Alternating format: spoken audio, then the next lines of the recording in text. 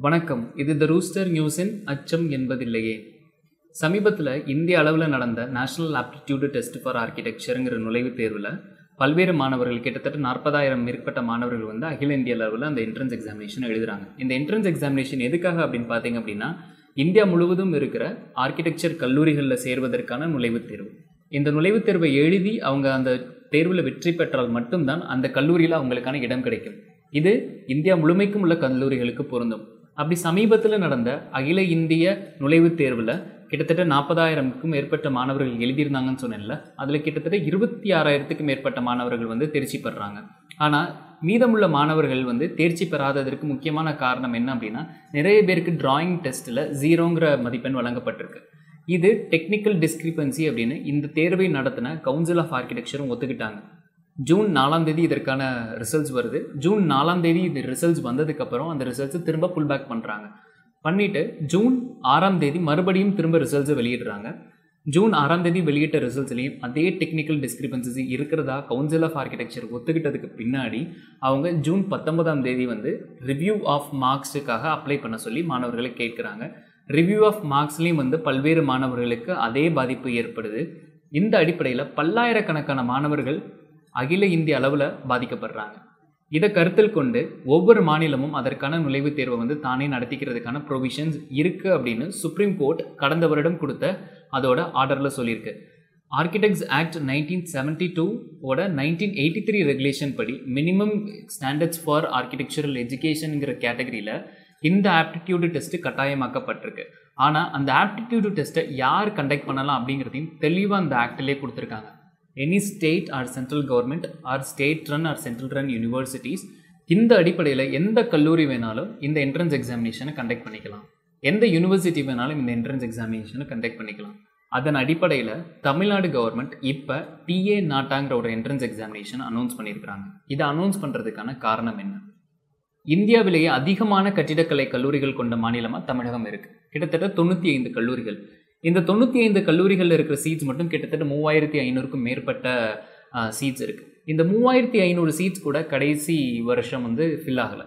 கடந்த வருடம் பார்த்தீங்க அப்படின்னா கிட்டத்தட்ட இரண்டாயிரம் சீட்ஸ்க்கு மேலே வேக்கண்ட்டாக இருந்தது. அதுக்கு காரணம் இது வரைக்கும் நாட்டா என்ட்ரன்ஸ் எக்ஸாமினேஷன் மார்ச் ஒன்றாம் தேதியிலேருந்து ஆகஸ்ட் முப்பத்தி ஒன்றாம் தேதி வரைக்கும் நீங்கள் என்றைக்கு வேணாலும் எழுதிக்கலாம். இதை எத்தனை முறை வேணாலும் எழுதிக்கலாம். அப்படி எழுதும்போது நீங்கள் இரநூறுக்கு எண்பது மதிப்பெண்கள் கட்டாயம் பெற்றிருக்கணுங்கிறது வந்து விதிமுறை. அப்படி நீங்கள் எடுக்க முடியல முதல் அட்டம்ப்டில் அப்படின்னா செகண்ட் அட்டம்ப்டில் நீங்கள் கன்சாலிடேட்டட் மார்க்ஸ் மூலமாக ஒரு ஆவரேஜ் மூலமாக எண்பது மதிப்பெண்கள் முதல் நுழைவுத் தேர்வு இரண்டாவது நுழைவுத் தேர்வையும் சேர்த்து நீங்கள் எடுத்திருந்தீங்க அப்படின்னா நீங்கள் வந்து தேர்ச்சி பெற்றவராக அறிவிக்கப்படுவீங்க. ஆனால் கடந்த வருடம் இரண்டாயிரத்தி பதினேழாம் ஆண்டு இந்த முறை அப்படியே மாற்றப்படுது. அது எப்படின்னா ஒற்றை சாளர முறையில் ஒரு சிங்கிள் விண்டோ என்ட்ரன்ஸ் எக்ஸாமினேஷனை கண்டக்ட் பண்ணுறாங்க நீட் என்ட்ரன்ஸ் எக்ஸாமினேஷன் மாதிரியே. ஆல் ஓவர் இந்தியாவுக்கும் ஒட்டுமொத்தமாகவே வந்து ஒரே ஒரு என்ட்ரன்ஸ் எக்ஸாமினேஷன் ஒரே ஒரு நாளில் மட்டும்தான் நடக்கும் அப்படின்னு இரண்டாயிரத்தி பதினேழாம் ஆண்டு இந்த நடைமுறையை கொண்டு வராங்க. இந்த நடைமுறை கொண்டு வந்தது வந்து கடந்த வருடமே வந்து கேள்விக்குறியானது கடந்த வருடமே வந்து நிறைய பிரச்சனைகளை சந்திக்க வேண்டியது இருந்தது. அது என்ன அப்படின்னா பன்னிரெண்டாவது வகுப்பு முடிந்த உடனே வந்து இந்த என்ட்ரன்ஸ் எக்ஸாமினேஷன் நடக்குது.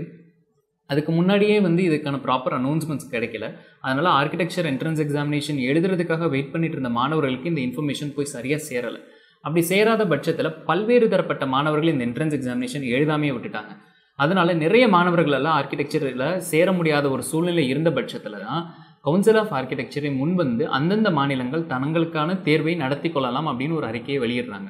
அப்படி வெளியிடும் போது கடந்த வருடமும் வந்து TA NATA Tamil Nadu national aptitude test for ஆர்கிடெக்சருங்கிற ஒரு என்ட்ரன்ஸ் எக்ஸாமினேஷன் நடக்குது. அதை வந்து அடிப்படையாக கொண்டு இந்த வருடமும் வந்து தமிழ்நாடு கவர்மெண்ட் கடந்த இருபத்தி ஒன்பதாம் தேதி வந்து டிஏ நாட்டாவோட அப்ளிகேஷன் ஃபார்ம்ஸை ஆன்லைனில் விட்டுருக்குறாங்க. இருபத்தி ஒன்பதாம் தேதியிலிருந்து ஆறாம் தேதி வரைக்கும் வந்து இந்த அப்ளிகேஷன் ஃபார்ம்ஸை நீங்கள் ஆன்லைனில் அப்ளை பண்ணலாம். W W W dot Anna univ dot edu slash TA NATA two thousand எயிட்டீனுங்கிற வெப்சைட்டில் நீங்கள் இந்த அப்ளிகேஷன் ஃபார்ம்ஸை பதிவிறக்கம் செய்து கொள்ளலாம். அப்ளிகேஷன் ஃபார்ம்ஸை நீங்கள் ஆன்லைனில் மட்டும்தான் அப்ளை பண்ண முடியும். இது தமிழ்நாட்டில் இருக்கிற கல்லூரிகளுக்கு மட்டும் பொருந்தக்கூடியது. தமிழ்நாட்டில் இருக்கிற கல்லூரிகளில் இருக்கிற மேனேஜ்மெண்ட் சீட்ஸ் மற்றும் கவுன்சிலிங்கில் மீதம் இருக்கிற சீட்ஸுக்காகவும் சேர்த்து நடத்தப்படுகிற ஒரு என்ட்ரன்ஸ் எக்ஸாமினேஷன் இந்த என்ட்ரன்ஸ் எக்ஸாமினேஷனில் ஆல் ஓவர் இந்தியாவிலேருந்து எந்த கேண்டிடேட் வேணாலும் வந்து அதுக்கான எலிஜிபிலிட்டி இருக்கிற கேண்டிடேட் இந்த என்ட்ரன்ஸ் எக்ஸாமினேஷனுக்காக அப்ளை பண்ணிக்கலாம். ஆனால் அவர் பாஸ் ஆகும் பட்சத்தில் தமிழ்நாட்டில் இருக்கிற கல்லூரியில் ஏதாவது ஒரு கல்லூரியை அவர் தேர்ந்தெடுத்து படிக்க முடியும்.